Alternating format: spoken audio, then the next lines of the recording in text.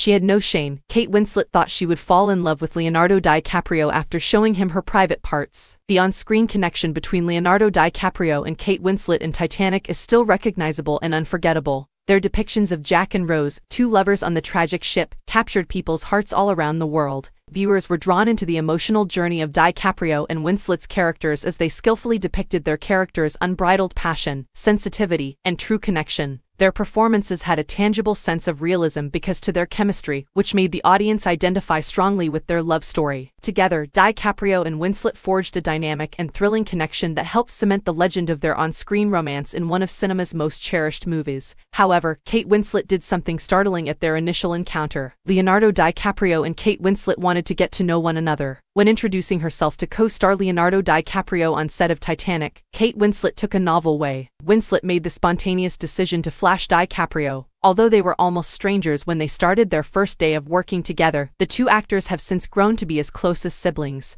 And what better approach to ease the conversation than to recreate the well-known moment where Jack sketches Rose. Their on-screen relationship started at this crucial juncture in Titanic. Together, DiCaprio's Jack and Winslet's Rose forged a chemistry that would enthrall audiences for countless decades to come. It's difficult to forget the Jack and Rose vehicle scene because they are one of the most passionate on-screen couples in movie history. Leonardo DiCaprio and Kate Winslet, though, couldn't be more apart from one another off the screen. Winslet remarked, We were kind of the two silly kids on the set. Working with Leonardo DiCaprio is fun because he's kind of hot, and I was afraid I would be overwhelmed by him or he would think I was all stuffy and Shakespearean in English. However, the moment we met, we instantly clicked. On set, Kate Winslet and Leonardo DiCaprio did bizarre things. Winslet claimed that she and DiCaprio would playfully participate in stunts, frequently pushing the bounds of ridiculousness. On the first day of filming, Winslet startled DiCaprio by flashing him, which made for a memorable moment. DiCaprio was utterly taken aback by this unexpected gift.